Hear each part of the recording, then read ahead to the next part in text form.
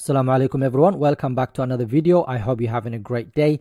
In today's video we are talking about PPG this is one of the companies that I own in my portfolio.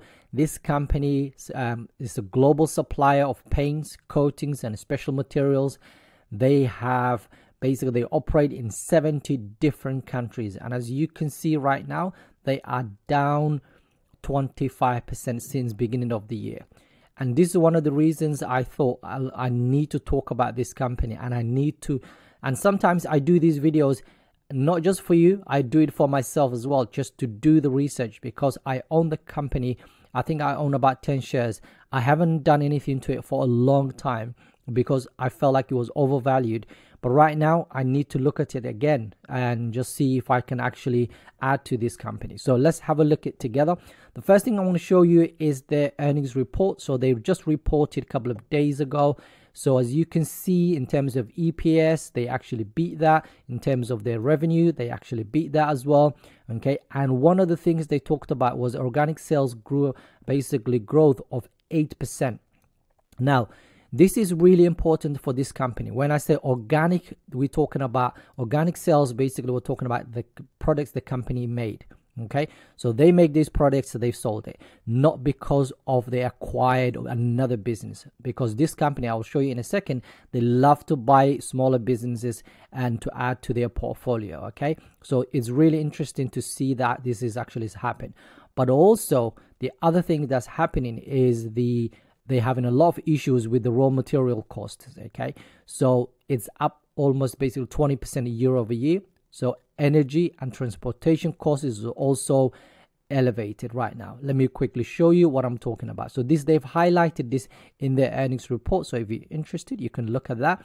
So in terms of raw materials availability um q2 uh, 3 of 2021 it was basically they had a severe shortage, but is now improving. So the outlook is actually better. It's getting better for especially things like the COVID labor. Um, basically, was the, the there's a minimum impact on that. So things are improving. Okay, but obviously they still they've just reported Q2 and Q2 looks nice but Q3 is hopefully should be better. But there are still issues with raw materials. There are st- still issues with the fact that there's some ports that are still congested because there's so much going on. There's so many companies that have not basically still received their products because of what's happening in the ports and so on. So yeah, there are some improvements, but obviously in the long run, I think um, maybe next two quarters, it might still be in recovery mode instead of just making. But I like the fact that they are on track when it comes to they actually beat there and this was actually unexpected from the analyst side of things. So they were not expecting this company to beat their earnings and basically in terms of the eps in terms of revenue which is very nice to see. But there are still we're not out of the woods yet. So let's have a look at uh, one more thing. And one of the things i was talking about now is this bit here so balance cash and deployment. So this company makes their money, and then what do they do? They actually capital basically they invest in the company, they acquire more businesses, they pay you dividends, and they basically pay buy back their shares. So in the last 10 years, okay, they've done capital spending of 18%. They acquired basically they made acquisitions, for example, 37%, which is very, very high. And this is one of the reasons I said I'm quite happy to see that 8% organic growth, okay, just the last quarter, which is really nice. Dividends, you can see about 17% um, it was the, the dividends, and the share repurchase was 28%. Okay, so this is nicely distributed, and this is what you want to see from the companies that you own. You want to see them spending that money wisely. Okay, either buy back their shares when the shares are cheap. Okay, I don't like when they buy their shares when the company is basically the stock price is very very expensive. Dividends i love those okay? And when you look at it right now okay you can also see the approximate 2021 cash use. Almost a 2 billion of that will be basically uh, acquiring other businesses okay? The capital expenditure is 35 million 210 million will be for the share buybacks and then dividends has actually been increased And that's another thing they've done now. They've actually increased their dividends 5% just this week. So, another great thing to see.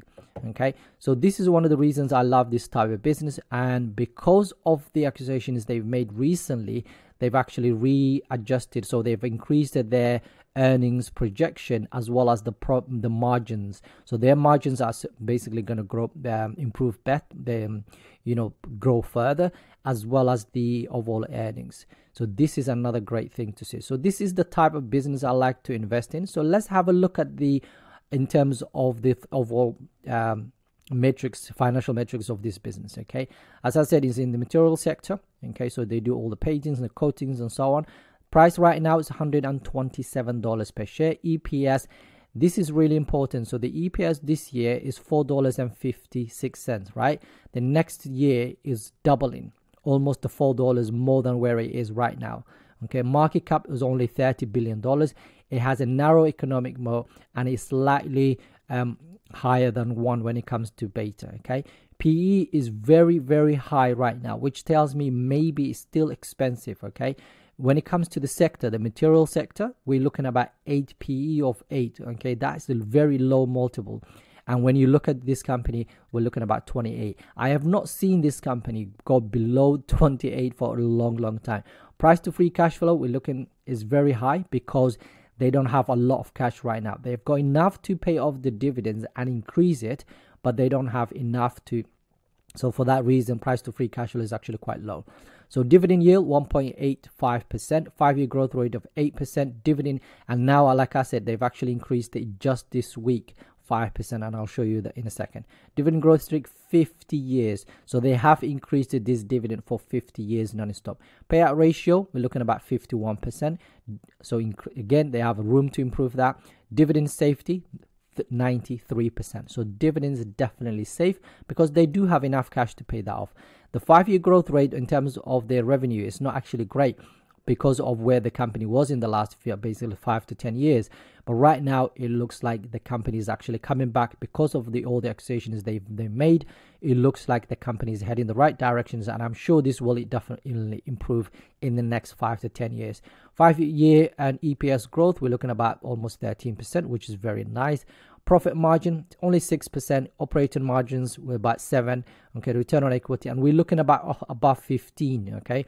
This is one of those situations where I broke my own rules and I bought a company whose profits are not great at the moment, but based on the projections, okay, in the future. So I'm betting on the future of this business in the next couple of um, maybe next five to ten years. Total return in the last 10 years, we're looking about 10%, and current ratio, we're looking above one, which is good. Okay, so in terms of the analyst, what they're thinking right now, according to Yahoo Finance, the business is going to grow, the earnings is going to grow about 12%, and this is what I'm betting on.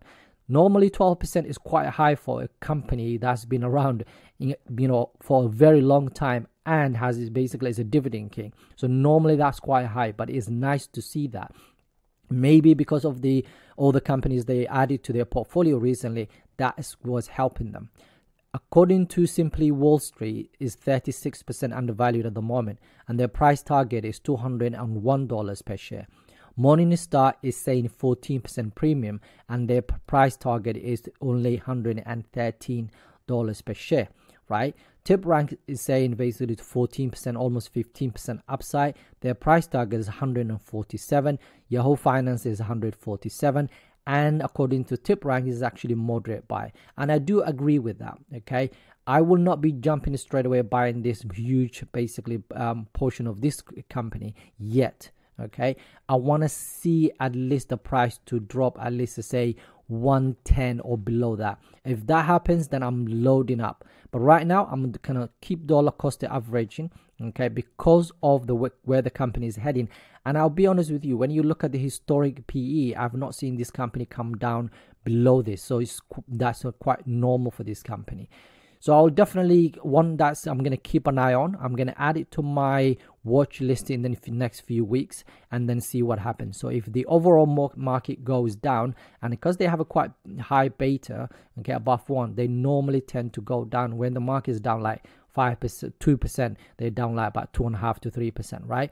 So if the markets go on the you know to the south next few weeks then i'm definitely gonna keep an eye on this and start adding to it. Because it's a quality business and i like the fact that they are heading the right directions. When you look at their overall projections and things like that and the acquisitions that they've made in the last few years what that has done to the business okay? I'm definitely interested in this business. I'm gonna keep adding to it in the next few weeks. And just to be transparent i just want to quickly show you where is ppg um there we go. There we go okay so i right now i own 10 shares of this company okay and then i will be sharing with um yeah i'll I'll be doing a portfolio update very soon, so I don't want to go through this some of the stocks in there. But there we go. There you go. So I've got 10 shares of this business right now. My price is actually um, 134, but what's helping me right now is the FX. Okay, if that wasn't there, I would have been probably in in the in the red right now. So that's why I'm I don't mind uh, buying more because it's actually my price. And the average price is 134 right now we're looking at 127 so i don't mind adding a couple of more shares in the next few weeks. That's ppg that is a dividend king. That's definitely looks interesting right now. And the fact that they are down for the year 25% we might not see that opportunity again. If it goes down even further than that then i'm definitely adding more to this company um, yeah i hope you enjoyed the video. If you're enjoying this content and this type of videos please please please give the videos a like. Have a wonderful day. Assalamu alaikum